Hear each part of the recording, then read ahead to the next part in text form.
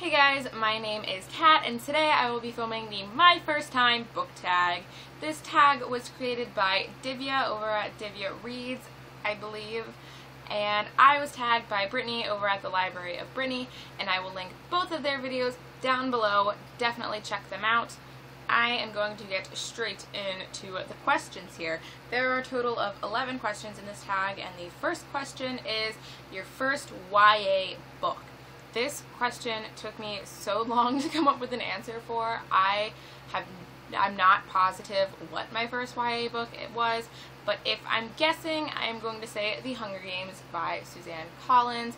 I have no idea what my first YA book was. There were some books that I read in the beginning of this year that I don't remember much about them. So this is kind of a guess, but I'm going to say The Hunger Games. I absolutely love this book and it's just fantastic. The second question is my first trilogy or series, and that has to be the A to Z mystery books by Ron Roy is his name. I absolutely loved these books as a kid. I still love these books when I'm bored and I can't think of what to read. i will pick up one of these and read it in like half an hour. Like it's a children's book and it has pictures and stuff in it. These are just fantastic. It's about these 9 and 10 year old kids who solve mysteries that start with the letters of the alphabet. Like we have the Missing Mummy and the Orange Outlaw. They're just, uh, I love these books. I love, I love these books. Question three is the first book I fell in love with. Um, it would probably be the A to Z mystery books, specifically The Missing Mummy. I love this one but I don't want to be super redundant with that. So I'm going to say Ella Enchanted by Gail Carson Levine, I think is how you say that. I love this book. I've always loved this book. My copy is a little torn and a little messed up, but I I need to reread this book super soon because I absolutely adore this book. Everything about it is just phenomenal. It's just, uh, it's so good. It's better than the movie, and that's saying something because Ella Enchanted is one of my favorite movies as well. It's it's so good. It's so good. The next question is the first book that I hated. And there aren't a lot of books that I can say I necessarily hated, but the book I'm going to say is The Prince and the Pauper by Mark Twain. I had to read this book in seventh grade and I hated it so much. It was so boring to me. I just didn't understand what was going on. Maybe I would like it now that I'm a little older, but I just, I hated that book so much. I also, like, other books I hated was, like, Romeo and Juliet. It's all the classics, apparently. I hated, I did not like Romeo and Juliet by William Shakespeare either, which I read that kind of recently. And I also kind of hated The Spectacular Now by Tim Tharp. I hated all three of those books but the first one I hated, to answer your question, is The Prince and the Pauper by Mark Twain. I hate that book.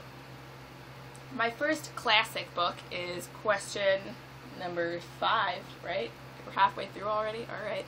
My first classic, also I read, I had to read in seventh grade. We had to read two books in seventh grade. One was the Prince and the Pauper, and the other one was Treasure Island by Robert Louis Stevenson. I'm going to count that as a classic. I'm pretty sure that's a classic. I read that in 7th grade. I loved that book. That book was phenomenal. I actually read that book before I read The Prince and the Pauper. So I read that Treasure Island and loved it and I was really looking forward to the next book and then I hated The Prince and the Pauper. But Treasure Island is an amazing classic. It's so interesting. It's so cool. I highly, highly recommend it. It's so good. My the next question, question number six, is the my first nonfiction book. And I don't read a lot of nonfiction at all. I would like to read more nonfiction, but I haven't read like any nonfiction this year. So this question was really, really hard for me to find one. But I figured this is the closest thing we're going to get to my first nonfiction book. And it's a little embarrassing, kind of, but it's Burning Up, the Jonas Brothers book by Kevin, Nick, and Joe Jonas. I love the Jonas Brothers. Like, I'm not even gonna shame myself for that. I absolutely love the Jonas Brothers. I think this book is beautiful. I think it's phenomenal. I I just love it. Yes, by the way, I was that awkward, like, 10-year-old dancing at the Jonas Brothers concert with my little Jonas Brothers t-shirt. That was me. That was also me at the Jonas Brothers concert last summer before they broke up. Alright, the video got cut off a little bit there, so we're just going to continue from where I was. And my first nonfiction book was the Jonas Brothers book. It's great. Highly recommend it. Moving right along is question number, I'm trying to read the paper here, so if you're wondering why I keep looking this way, I have the questions written down here. Question number seven is my first book fandom. I think my first book fandom would have been the Hunger Games fandom. The Hunger Games is when I really discovered that there was such thing as like book fandoms where you could like talk to people who also loved the book. I thought that was amazing. I obsessed over Hunger Games with people. It's I love it. I just I love it and the Hunger Games fandom is my first book fandom. Next question is my first fictional crush and that would be Percy Jackson because Percy Jackson. Obviously, Percy Jackson. There's really nothing else to add to that. Question number nine is the first fictional character I looked up to, and this is the time where I'm going to be redundant. First fictional character I had to look up to is probably Ruth Rose from the A to Z Mystery books. This is her here. She dressed in the same color for everything. Like you can see her overalls and her sweatshirt and her headband are all blue. So her pants would have been blue and her shoes would have been blue. She dressed in all the same color.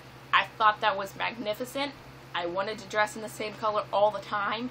I just, I found out that she was, like, she's a 9 or 10 year old girl or 8, I don't know how old they are, who solves mysteries. That's amazing. I really looked up to that. That's just, I, I love Ruth Rose. She's, she was like my first Hermione. I adore Hermione now, but Ruth Rose came first for me. And question number 10 is my first book character that I hated. And that I picked Count Olaf from the series of Unfortunate Events books. This man is just terrible. He's just a terrible man. All in all, he's a horrible, horrible person. I hated him then. I hate him now. He's just, he kills me. I so much hate. So much hate still so much hate. I'm rereading the series now. The hate is back. I hate, I hate that man. I hate him.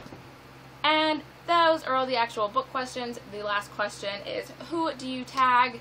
And I'm actually not going to tag anybody. If you're watching this right now and you want to do this tag, go ahead and do it. I'm not going to specifically tag anybody to do this video because I don't have anyone in mind who I really know would want to do it, who I could tag. So I'm not going to tag anyone.